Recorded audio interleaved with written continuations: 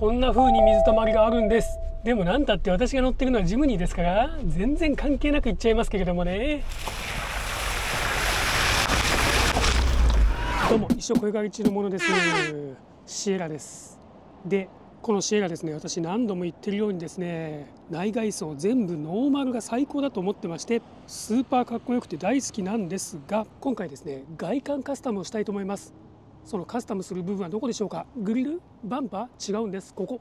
そうです。タイヤなんです。このねタイヤ。これを完全に外観のドレスアップ目的でタイヤを交換したいと思っております。というのもですね現状ですねこれ。これねメーカーは複数あるようなんですが私はですねダンロップのこれグラントレックっていうんですか？の 19580R15 サイズが採用されています。ただこれですねもちろん街乗りを意識してというよりも多分ですねカタログ上の燃費を意識してさらには仕入れコストを意識してだと思うんですけれども非常にですねまあしょぼしょぼのそしてこのトレッドパターン絶対オフロードパターンじゃないですね。そしてまあついてるからいいですよね。レベルのものがついてるんです。まあそんなですね超細かいとこまではこだわらないジムニーの姿勢が私大好きですしこうした各所のコストダウンのおかげで全体の車両価格が収まっているのも分かっておりますさらにこのワイルドなオーバーフェンダーには似合わぬですねこのおとなしげなタイヤパターンもそれも味の一つだと思いますしまたこれはちょっと私の天の弱な性質なんですけれどもまあとにかくジムニーといえばみんなね買った瞬間にタイヤとかホイールをバンバン変えますよねかなり派手なオフロードパターンのものだったりサイズの大きなものに。でねなんて偉そうに言ってますけれども実は私も正直言いますと納車待ちの間にはですねものすごくタイヤカタログとかホイールカタログを見漁ってですねあこのタイヤとこのホイールの組み合わせでこういうふうにしようとかっていっぱい考えておりまして実際購入の寸前まで行っておりました。何度かですねタイヤホイール専門店さんに問い合わせなんかもしたりしておりましたがいざ納車されてみるとこれがですねその何ともしょぼくて素朴なところも含めてですねそれがシエラのこの生の味なんじゃないかと思えるようになってきたんです。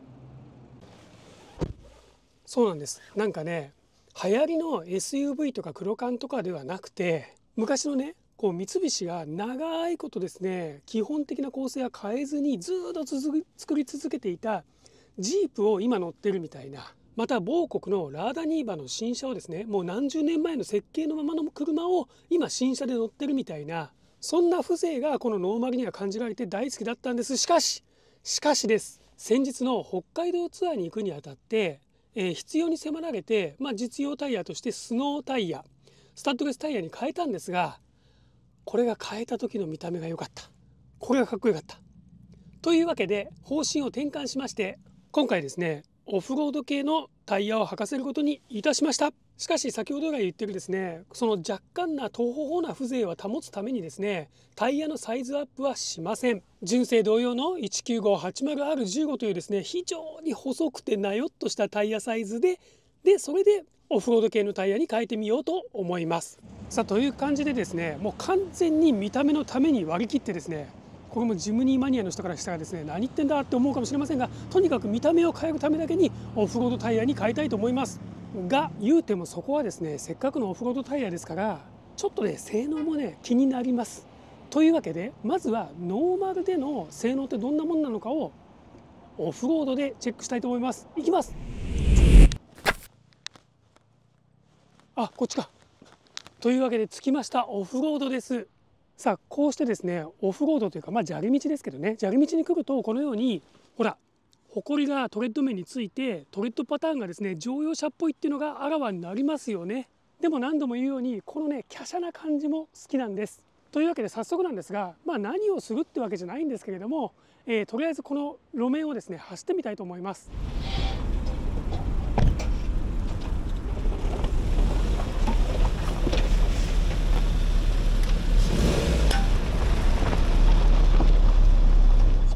走れますね。なんてことなく普通に走れます。今肉で走ってます。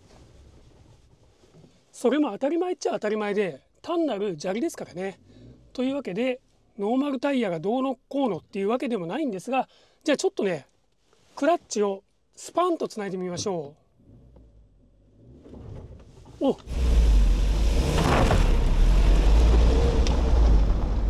さすがにそれはスリップしますけれどもまあでもそれだけですね。だから不安ってわけでもありません。こんなような坂はどうなんでしょうか。坂道です。さあほんのちょっとした丘を登ってみたいと思います。まだ肉のままです。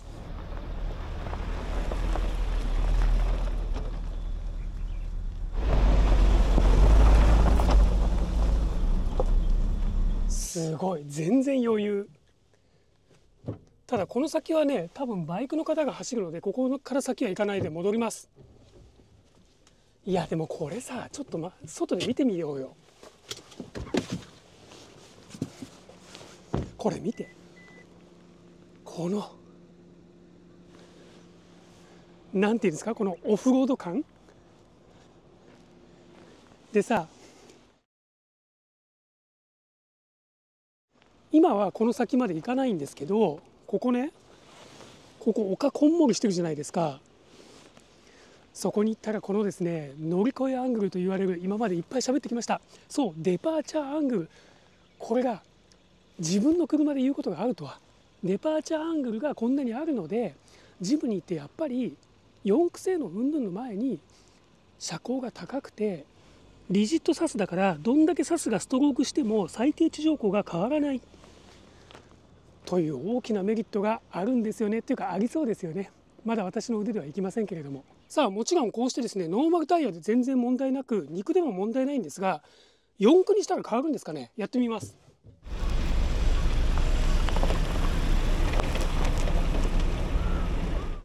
4駆にします。いきますよ。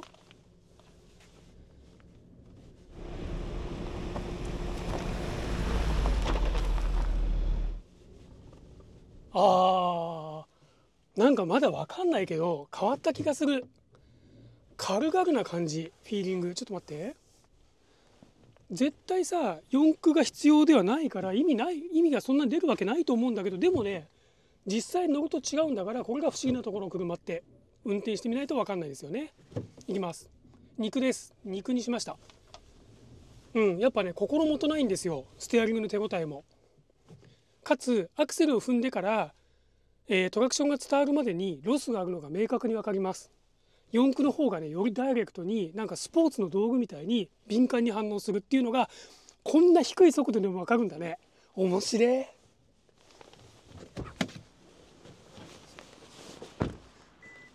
ほら見て見て。デパーチャーアングルですよ。デパーチャーアングル。ナイスデパーチャーアングル。しまった。今気づいた。デパーチャーアングルじゃない。ランプオーバーランプオーバーアングルだ。デパーチャーは後ろだ。恥ずかしい。すいません。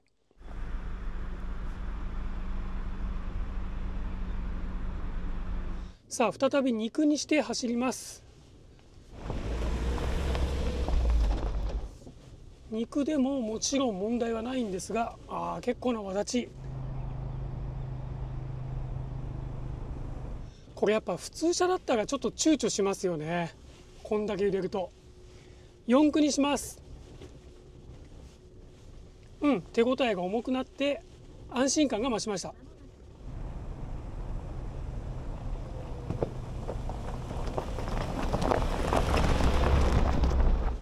ただもちろんね走破性自体は肉で走ってても全然問題ないです。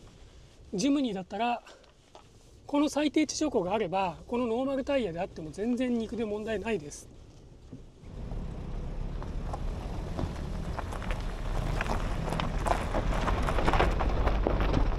いやしかしこんなちょっとした上り坂だったら本当に何の気兼ねもなく行けますね。楽しいなジムに楽しいなつうかノーマルタイヤのインプレっていうの忘れてた。全然ノーマルタイヤ余裕ですよ。あのねすごく今私しみじみに納得してるんです。ジムニーのギア比街乗りでは非常にローギアードで、まあ、乗りにくい局面もありますがこれね今一足でほら一足でアイドリングなんですよ。でもトルクがしっかりあってぐいぐい進んでんの。こういう時のためのローギアードだしこういう時のための低速エンジンなんですよね。低速トルクエンジンなんですよね。これ2速に入れてもほら2足アイドリングで全然進む。素晴らしい。ジムニーは山の子なんだねやっぱりね。町の子ではないんです。でも私そんなに山には行けません怖くて。いやというわけでノーマルタイヤでしかも肉でも全然余裕でした。ノーマルタイヤのインプレをするつもりがですねジムニーの最低地上高の高さそしてリジットサスの意味合いそれがよく分かった市場になりました。しかしこれオフロードタイヤもうすでに発注してますのでそれはもう装着します。というわけで装着しに行きましょう。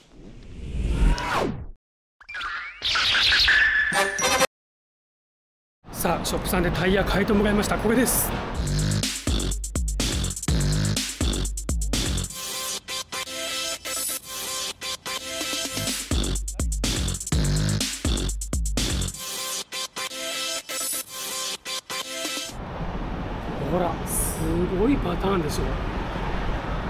れですね東洋のオープンカントリーの RT というやつなんです。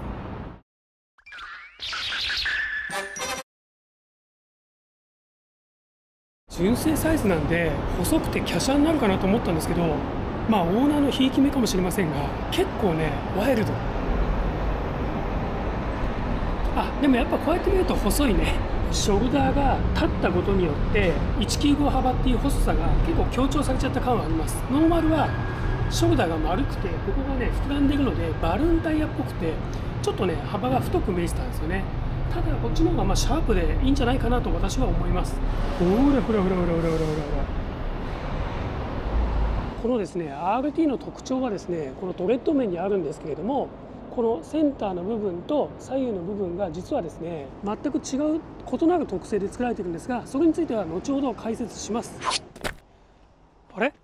カメラどこだ？ああ今度は近すぎた。というわけで、え前回と同じオフロードコースに来ました。で前回と同じ場所なんですがちょっとねずらしてます。なぜなら前回はそこに止まってたんですがほら水たまりになってるんです。というわけで今回まあラッキーっちゃラッキーなんですけどここねほらこんなぬたぬたのドロドロになってまして前回より厳しい条件になってます。これが前後逆よりはいいですよね。まあオフロードタイヤのテストには。さあというわけでですねバッチリオフロード系のタイヤを履いた私なんですけれどもこれ見てくださいよ。このオフロードに似合うこと。そして前回言ったようにですねこのように泥がついた時にパターンの違いが丸分かりです。ほら素晴らしいオフロードペー。完全に自己満足でしかありませんがこれ見てください。これほらかっこいいしここにこの欧州スズキのタイヤカバーも似合うね。といつまでも自画自賛していても仕方ありません。さっきですね話途中で切り上げたタイヤのパターンについて一口にオフロード系のタイヤといっても、えー、いくつかパターンはあるんですけれども、まあ、一番有名なのは MT タイヤマッドテレーンタイヤと呼ばれるものです。それはですね排水性ですとかえー、ロードノイズとかそういうところには目をつぶってとにかくオフロードでのトラクションを稼ごうというタイプのものです。一方でオフロードタイヤでありながらオールテレイン AT と呼ばれるタイヤもあります。それはですねオフロード志向でオフロードも走れるんですけれども、えー、普段の、え、ウェットの時の性能ですとか燃費性能それから静粛性なんかにも配慮したようなタイヤとなっています。ただしその分ですねタイヤパターンは控えめになるみたいな傾向があります。そこに来て私のこれこれはね東洋の RT これねラギッドテレインタイヤという比較的ですね歴史の新しいタイヤになります。これはですねオフロードタイヤの、えオフの性能が高いのが MT で、えバランスがいいのが AT だとしたらその中間そのいいとこ取りをしたタイヤになります。具体的にはこのですねトレッドの左右が MT パターンになってます。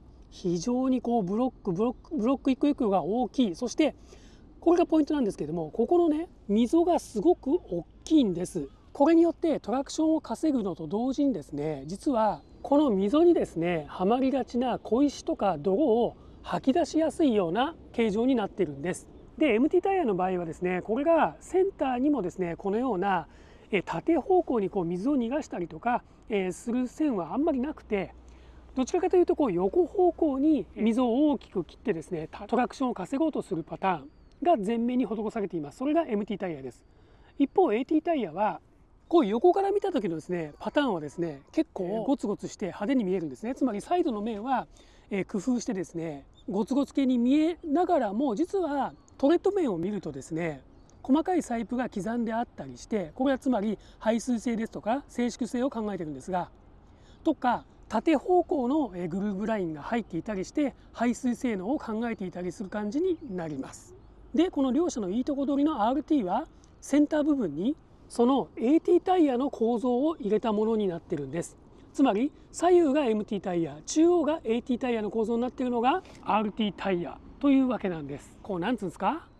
飛行機とロボットの中間でガウォークみたいな分かりますか？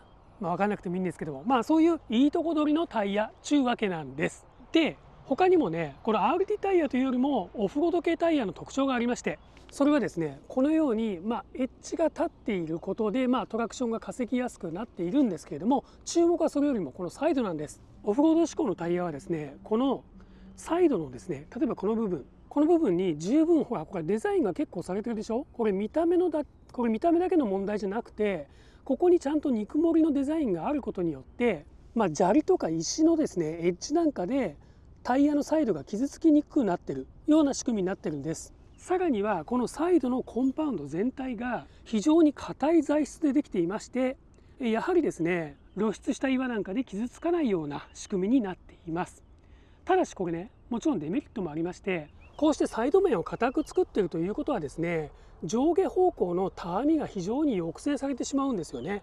というわけで乗り心地は悪化する傾向にあります。一般道での舗装道舗装路面でのね。というところなんです、えー、オフロード性能が高いんだったら MT タイヤを履けばいいんじゃないか。それ一択じゃないかと思うかもしれませんが今言ったように排水性が、えー、高くない。それから、えー、騒音も大きい。それからですねこういう MT の MT の激しいパターンにするともちろん燃費も悪くなる。という点からですね最近は AT を選ぶ方も多いそうです。で今回私がですねなぜ東洋の、えー、オープンカントリーの RT を選んだかというところなんですけれども、えー、実はですねこれはしっかりですね東洋からお金をたんまりもらってるからではもちろんございません。この企画はもちろん全部私の自腹なんです。でなぜ選んだかと言いますとそれはズバリですね見た目です。そうなんです。見た目です。いや別にね私オフローダーではないので見た目が良ければ AT でも良かったんです。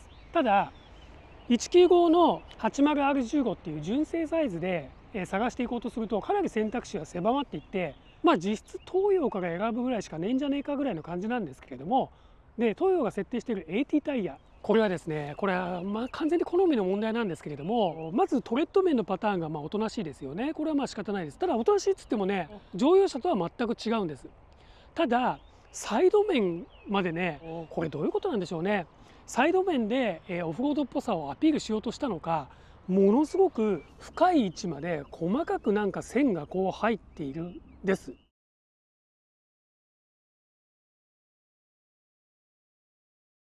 それによってトレッド面が延長されたような状態になっているんですね。でタイヤがでかく見えるんですがまあもちろんそれこそが狙いだと思うんですけれども実寸以上に力強くかっこよく見える。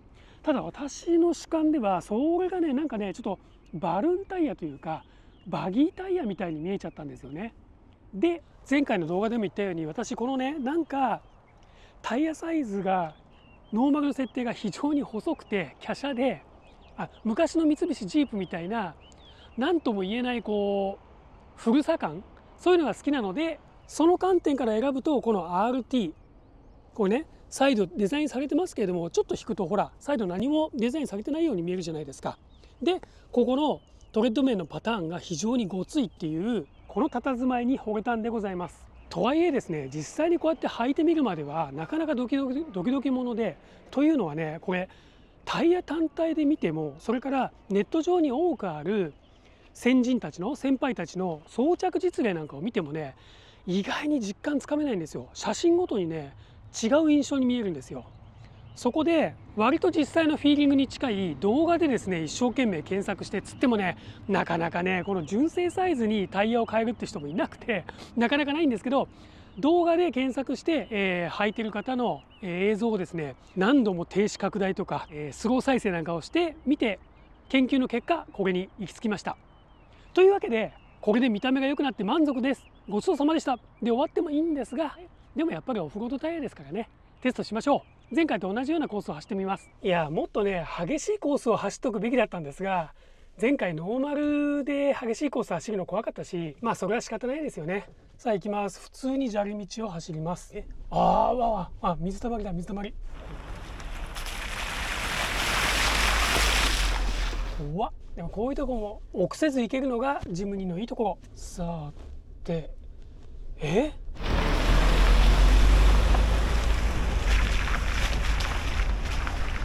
えマジで？この感想が勘違いでなければなんですがいやーこれ心配だなドキドキするな。オフロードプロの方が見たら違うっていうかもしれないんだけどあのですね全然違います。マジで？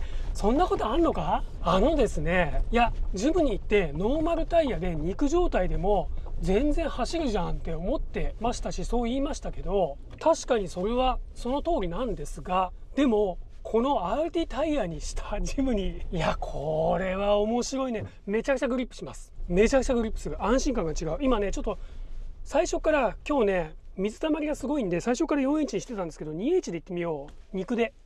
肉でいきます。あーでも肉でもやっぱそうだ。もう一回 4H 戻します。いや全然ね前と同じ感覚で走ると全く違うぐらいグリップします。うっそー。タイヤって何？こんなに違うの？こんな普通の道でも私タイヤの凄さを初めて感じたのはバイクに乗ってる時に GSXR っていう、まあ、スポーツバイク乗ってたんですがそれに初めてブリヂストンのバトラックスっていういわゆるハイグリップタイヤっていうものを履かしたことがあるんですけれどもその時にもうとにかくコーナーでどんだけハイスピードでコーナーに入ってってもどんだけ傾けても鳥持ちのようにですね路面にペリペリペリペリこう張り付いていくような感じでうわタイヤってこんな違うんだって初めてそこで分かったんですがそれと同じような感動があります。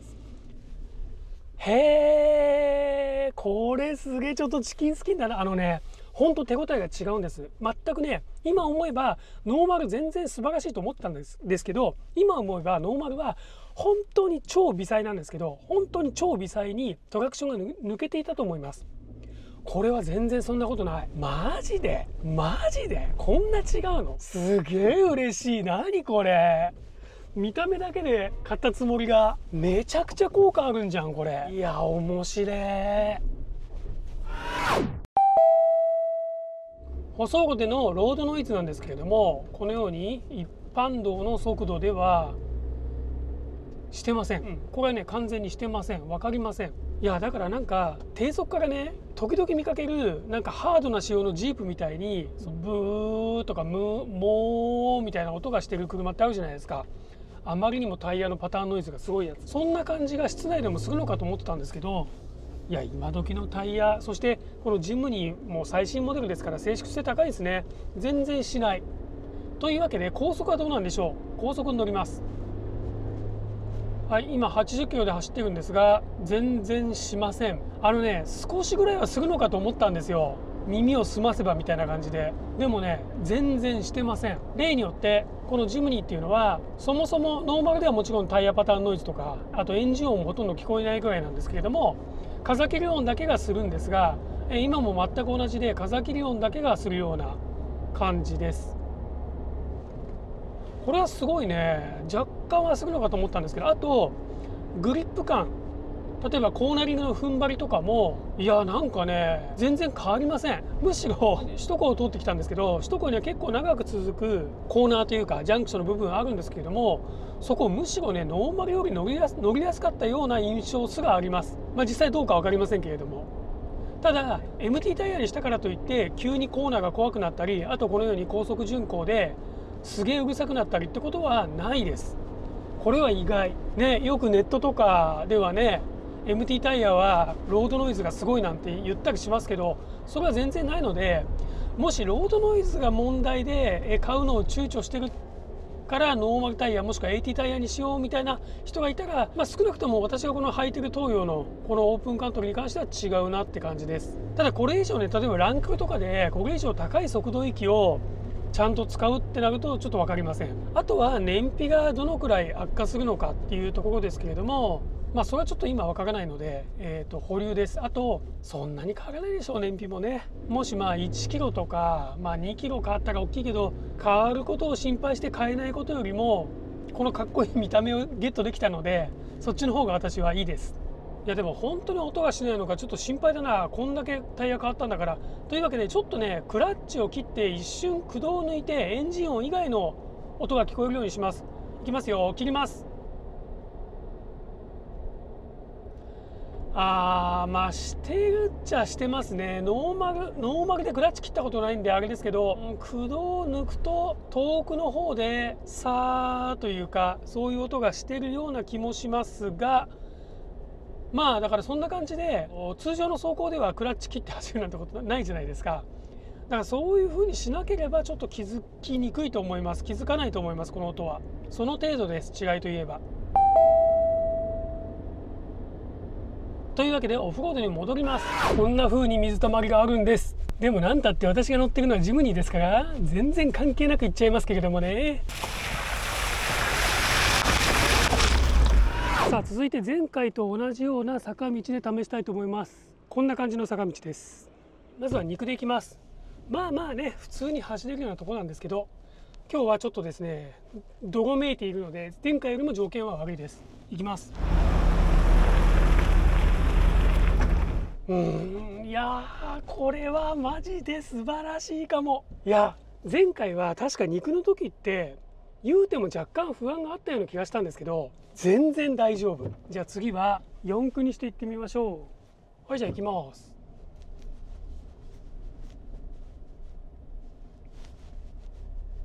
楽勝。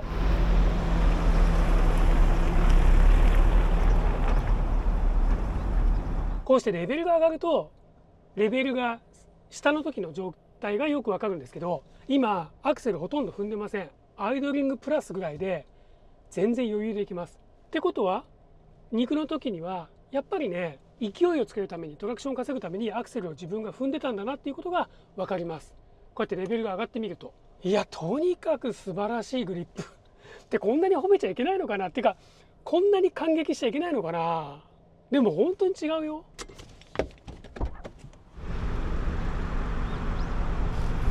そして見てください。今度は間違いません。ランプブレークオーバーアングル余裕で確保できていてまあこの佇まいこのストロークした時の佇まいがやっぱりかっこいい。素晴らしい。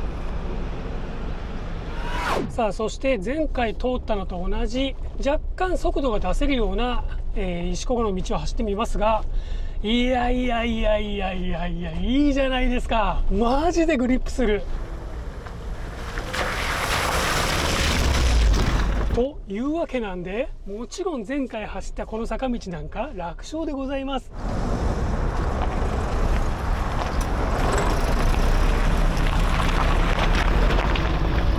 いやー素晴らしい。いやージムに勝ってよかった。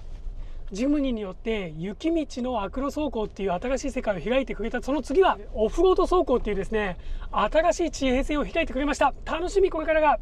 大変ビビでした。ごちそうさまでした。そしてオフロードタイヤへの交換おすすめです。